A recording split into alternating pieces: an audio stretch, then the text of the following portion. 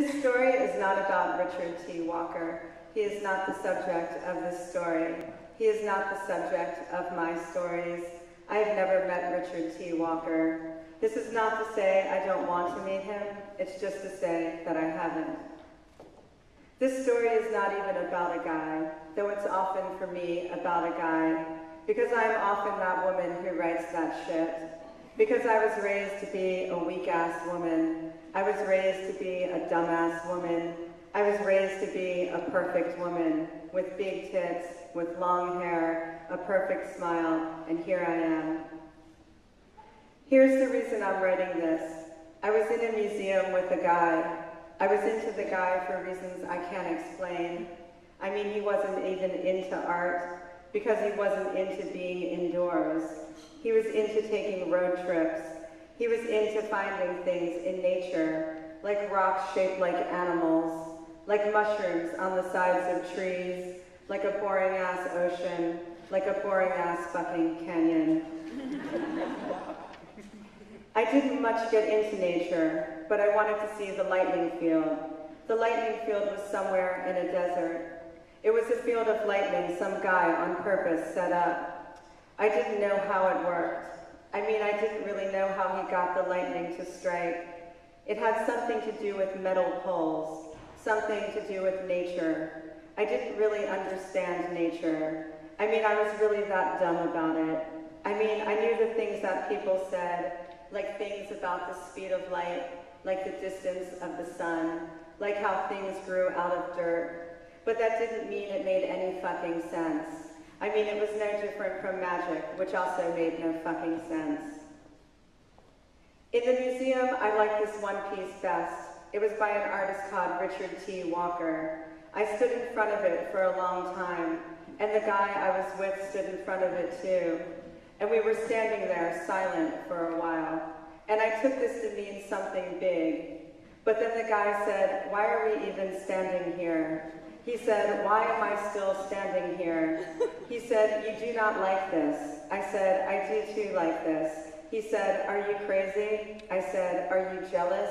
He said, are you crazy? Walking to the museum, I saw these two snails fucking. There they were, fucking, in the center of a leaf.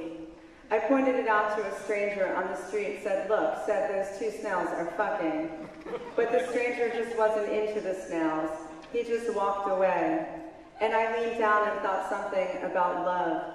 And really, I'm sorry to sound all sentimental. I'm just saying, I was into it.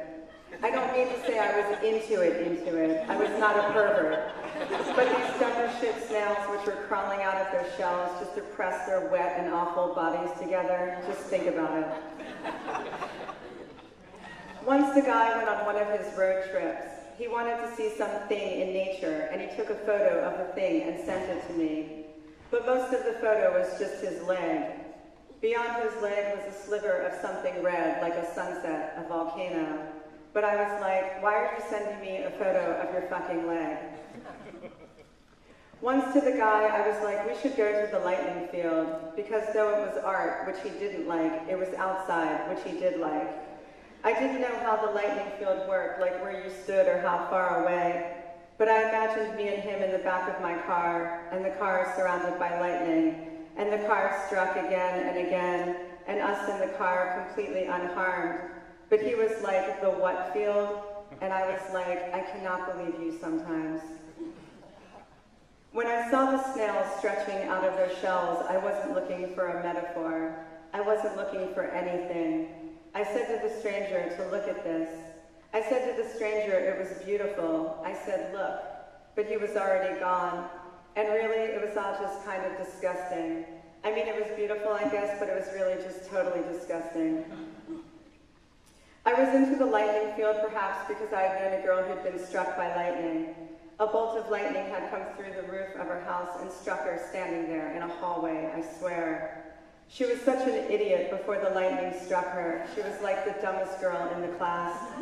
But after she was struck, she was like a god or something.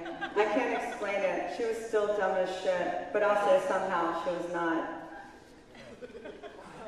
This story is not about Richard T. Walker. It is not even about his piece.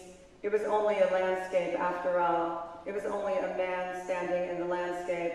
That's all I guess there is to say. And that the guy I was like didn't like it because he probably didn't get it. And looking back, I probably didn't get it either.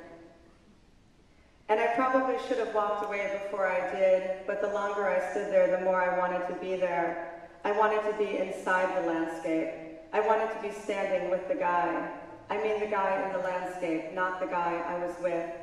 That guy was getting bored with me. That guy was pulling on my arm.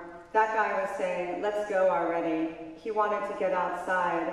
It was a beautiful day, he said. We were wasting our time, he said. There were beautiful things to see. There were oceans and things. There was a ton of shit. So I'm sorry, Richard T. Walker, but I had to follow the guy. I was raised to be a certain way, you see, with this perfect hair, this perfect smile, these tits. But let me make it up to you, Richard T. Walker. I'll make it up to you someday. I'll take you to the lightning field. I'll take off your shoes in the back of my car. I'll take photos of lightning beyond our legs. And I'll watch you sleep as the lightning doesn't kill us again and again. Thanks. Bravo!